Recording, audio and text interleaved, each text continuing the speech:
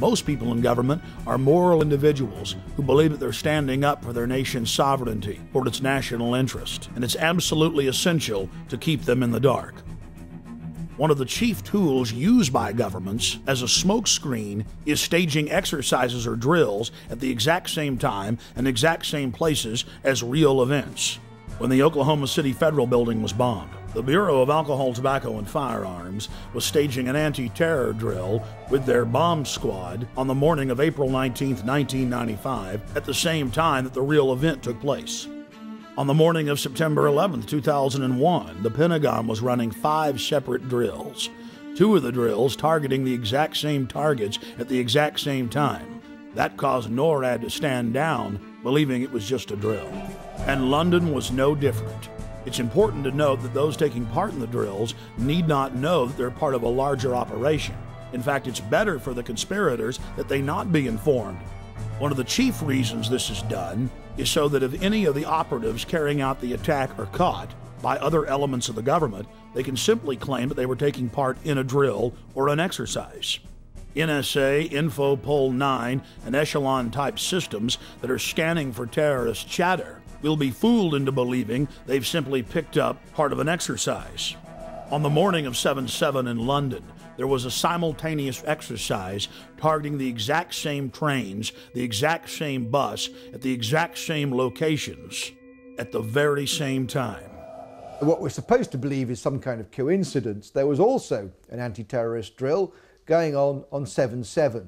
And again, just like 9 11, they were talking about attacks on the same targets, the same kind of tube stations, and exactly the same time as the actual attack happened.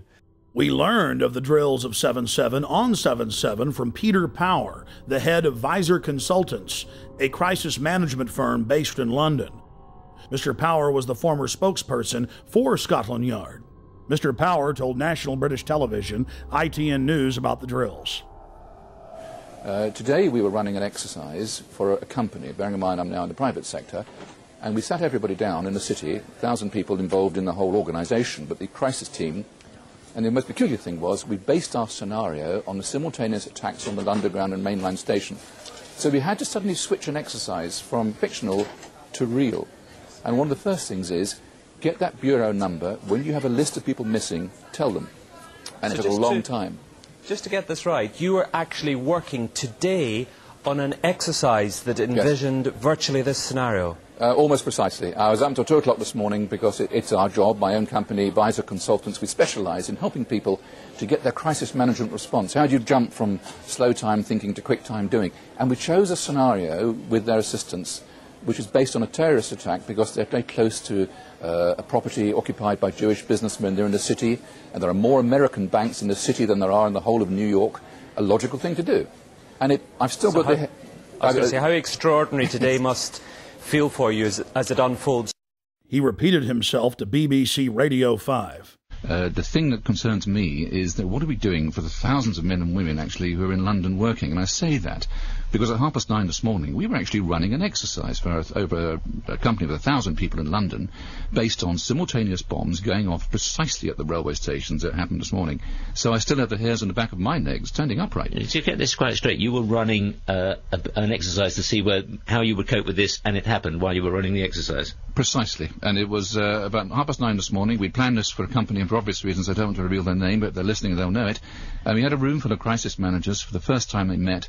And so within five minutes we made a pretty rapid decision, this is the real one. Uh, and so we went through the correct, the correct drills of activating crisis management procedures to jump from slow time to quick time thinking yeah. and so on. If we use a standard actuary employed by major insurance companies to calculate the probability of these events coinciding in a 10 year mean, we learn that the probability of this happening is greater than 1 in 300 tetragillion. To put that in perspective, that's a number with 41 zeros behind it. That is trillions and trillions and trillions and trillions and still more trillions times greater than all the grains of sand in all the world.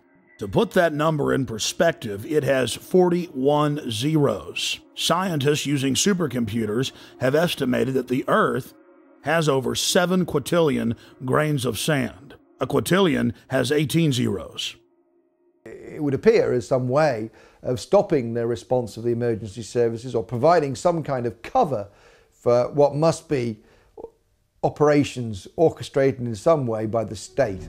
The evidence is overwhelming. All the telltale signs are there of government sponsored terror. Only the British government had the know how to carry out the attacks and to control the situation before and after the bombings. And of course, there's all the other admitted cases where the British government has hired terrorists to carry out assassinations or carried out bombings in their own country as a pretext for political control. And then, of course, there's cui bono, Latin for who benefits, who stands to gain. In the weeks leading up to 7 7, Tony Blair's poll numbers had fallen to the lowest point in his seven year administration. His Labour Party was sure to lose the parliamentary elections. Support for the war was dismal. Despite the bombings, which did improve his approval ratings and support for the war, he was still only barely able to maintain control over the British House of Commons.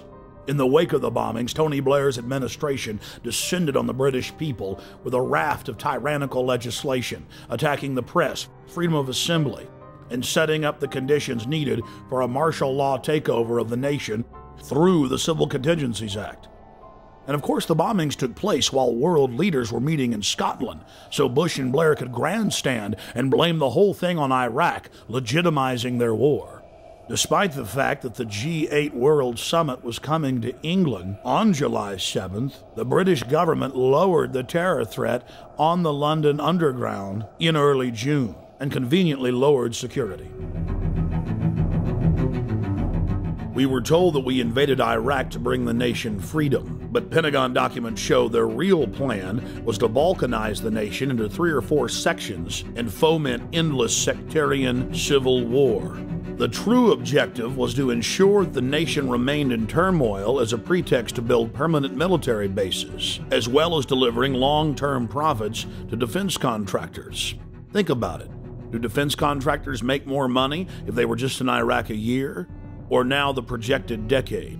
United States, British, and Israeli forces have all been caught repeatedly carrying out staged terror attacks in Iraq in an attempt to keep the war going.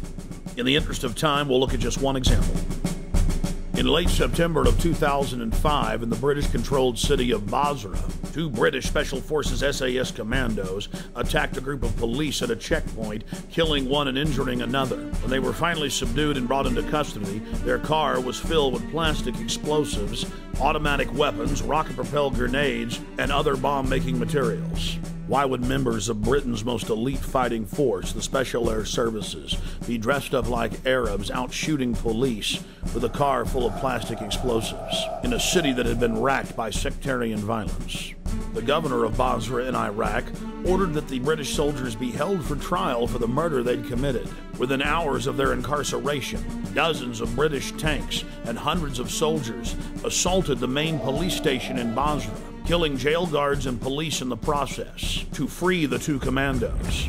Over 150 prisoners escaped, and the controlled mainstream media reported on the incident as if it was no big deal. We cannot wait for the final proof the smoking gun. It could come in the form of a mushroom cloud. The United States knows that Iraq has weapons of mass destruction. Saddam Hussein already possesses two out of the three key components needed to build a nuclear bomb. In early February of 2006, members of the British government leaked documents that the White House admits are authentic. Known as the White House Memo, it is the minutes of a pre war meeting between Prime Minister Tony Blair and George Bush in the Oval Office. The minutes contain the discussion of a classic false flag operation, where Bush tried to lure Saddam into war using UN aircraft. Mr. Bush told Tony Blair of the extraordinary plan during a meeting in the White House on January 31, 2003, six weeks before the war started, the Times of London reported.